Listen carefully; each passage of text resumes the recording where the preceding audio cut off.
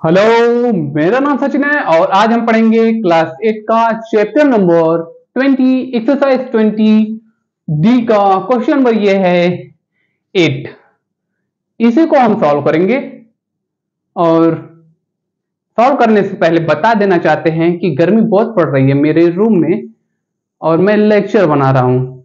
इसलिए आपसे अनुरोध है कि आप चैनल को ज़रूर सब्सक्राइब करें। भैया, आप सब्सक्राइब करोगे? तो मेरा मनोबल थोड़ा और अच्छा होगा। तो मैं और अच्छे से पढ़ा पाऊँगा।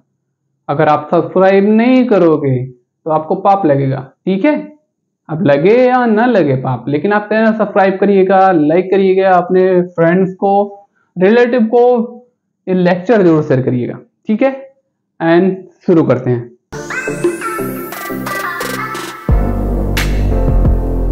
तो आ जाओ दोस्तों।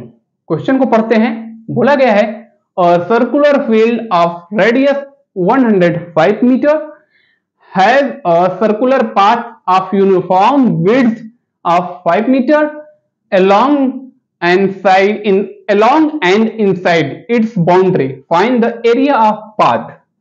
ठीक है? क्वेश्चन नहीं समझ में आया होगा। क्वेश्चन फिर से पढ़ते हैं। ठीक है? तो क्या लिखा गया है? A circular field of radius 105 metre है the circular path of uniform width of 5 metre along and inside its boundary find the area of path फिर भी ना समझ में आया होगा। अब तीसरी बात तो ज़रूर समझ में आएगा। ठीक है? एक सर्कुलर फ़ील्ड है। ठीक है? सर्कुलर फ़ील्ड है कुछ इस तरीके से। हमारा सर्कल थोड़ा एग टाइप का हो गया है। हमें सर्कुलर फ़ील्ड ही बनाना है। ठीक है? ये बन गया बन गया बन गया। गलत सही हो गया, बन गया। ठीक है? एक सर्कुलर फ़ील्ड है, जिसका रेडियस है 105 मीटर ठीक है? रेडियस क्या होता है? सेंटर से ये जो आधा वाला जो साइज़ होता है, ये होता है रेडियस जिसका रेडियस है 105 मीटर और हैज़ अ सर्कुलर पाथ और ये जो सर्कल है, इसके पास एक सर्कुलर पाथ भी है। कैसा पाथ है? सर्कुलर पाथ मतलब वो भी सर्किल के अंदर जो पाथ बन रहा है, उसके किनारे किनारे जो है एक सर्कुलर पाथ बन रहा है, जो जिसका, जिसकी चौड़ाई circular path of uniform width जिसकी चौड़ाई एकदम सर्कल के किनारे किनारे एकदम बराबर है, ठीक है? बराबर है, लेकिन कितना चौड़ा है हर जगह बराबर? Five metre five metre along the inside inside the boundary five metre चौड़ा है, ठीक है? फाइव मीटर चौड़ा है, जो कि बाउंड्री के अंदर ही है। इसकी चौड़ाई कितना है? फाइव मीटर है है ना? ठीक है? तो इसका मतलब ये अब ये जो अंदर वाला रेडियस कितना होगा? बाहर वाला पूरा लेके 105 है। तो अंदर वाला फाइव मतलब फाइव मीटर अगर सब्सट्रैक्ट होगा तो ये कितना बचेगा? हंड्रेड मीटर बचेगा। ठीक है? कुछ इस तरीके का फिगर बनेगा। है ना? तो अब हम क्या करेंगे? इसको करते हैं सॉल्व हमें क्या करना है? Find the area of path ये जो पाथ वाला एरिया है, इसको हमें फाइंड करना है। इसका एरिया कितना होगा? ठीक है? तो यहाँ दो सर्कल है। ठीक है? पहले वाला सर्कल का रेडियस है 105 मीटर ठीक है? ये फ़र्स्ट वाला हो गया, ये सेकंड वाला हो गया। ठीक है? फ़र्स्ट वाले को सॉल्व करेंगे और सेकंड वाले दोनों को सॉल्व करेंगे, जो आंसर आएगा, दोनों को एक दूसरे से सब्ट्रैक्ट कर देंगे तो हमें ये जो पाथ वाला एरिया है, उसका एरिया निकल जाएगा। ठीक है? तो दोनों सर्किल है तो सर्किल का एरिया क्या होता है? दोनों का एरिया निकालना है। फ़र्स्ट वाले का एरिया सेकंड वाले का एरिया सर्किल का एरिया क्या होता है? पाई आर स्क्वायर तो दोनों जगह पाई आर स्क्वायर लिख देते हैं, ठीक है? दोनों को एक दूसरे से सब्सट्रैक्ट करेंगे तो हमें ये वाला एरिया निकल जाएगा जो पाथ बना हुआ है बाउंड्री के अंदर, ठीक है? तो पाई का मतलब होता है ट्वेंटी टू बाई सेवन होता है। आर स्क्वायर का मतलब क्या होता है? 105 का स्क्वायर हो जाएगा। माइनस यहाँ लगेगा। पाई का मतलब 22 टू बाई सेवन होता है। आर का स्क्वायर मतलब 100 का स्क्वायर हो जाएगा, ठीक है? अब हम क्या करेंगे?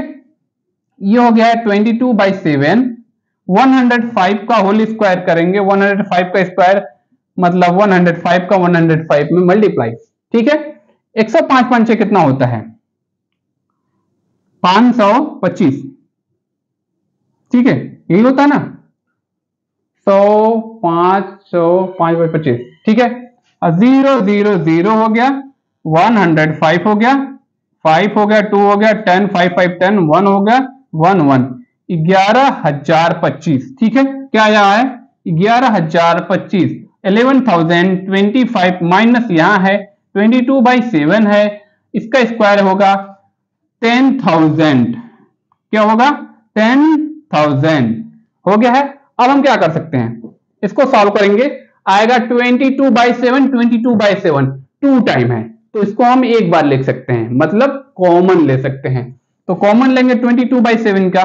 तो अब बचा हुआ क्या है? ये कॉमन चला गया, ये कॉमन चला गया। तो अब बचा हुआ है eleven thousand twenty five minus ये बचा हुआ है टेन थाउज़ेंड ठीक है? टेन थाउज़ेंड में दस हज़ार, ठीक है? ये हो गया। अब इसको सॉल्व करेंगे तो क्या बचेगा?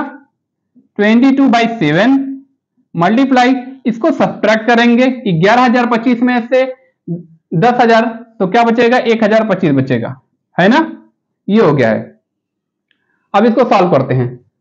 एक हज़ार पच्चीस को मल्टीप्लाई करेंगे, या तो नीचे से डिवाइड कर दें, या तो ऊपर की तरफ़ ट्वेंटी टू से मल्टीप्लाई कर दें। तो मल्टीप्लाई कर लेते हैं। इसको इससे डिवाइड करेंगे तो डेसिमल में आने लगेगा। क्वेश्चन सॉल्व करना थोड़ा कठिन हो जाएगा। तो 1025 में 22 से मल्टीप्लाई करते हैं, ठीक है? एक हज़ार पच्चीस दूनी दो हज़ार पचास। ठीक है? दो हज़ार पचास। तो दो हज़ार पचास। पाँच पाँच पाँच, दो दो। ठीक है?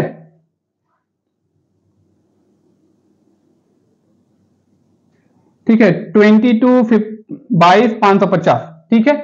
यू हो गया। इसको ऊपर मल्टीप्लाई हो जाएगा तो बाईस, पाँच सौ पचास बटा सात। ठीक है? इसको सेवन से डिवाइड करेंगे। बाईस पाँच सौ पचास को सेवन से डिवाइड करेंगे, क्या आ जाएगा? सात तरीक इक्कीस, हो गया है? बच्चा एक। बाईस में से इक्कीस या एक उतारेंगे, पाँच, सात, दो नहीं सेवन टू ज़ा फोर्टीन वन बच्चा। ये फाइव उतरेगा यहाँ। सेवन टू ज़ा फोर्टीन वन बच्चा। वन ज़ीरो ज़ीरो उतरेगा। सेवन वन जा सेवन टेन में से सेवन गया थ्री बचेगा। तो यहाँ क्या गया? Three by seven into thirty two into twenty one ये आ जाएगा three by three by seven into thirty two twenty one ये होगा सेंटीमीटर सेंटीमीटर में है कि मीटर में है? मीटर में है। मीटर स्क्वायर इसका होगा आंसर ठीक है? देख लीजिए। Three by seven three two two one answer होगा इसका। देख लेते हैं answer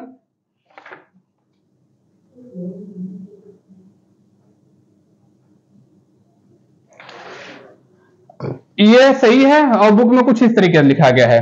Three two two one into three by seven ये भी सही होगा। Metre square. ये भी सही होगा। ठीक है?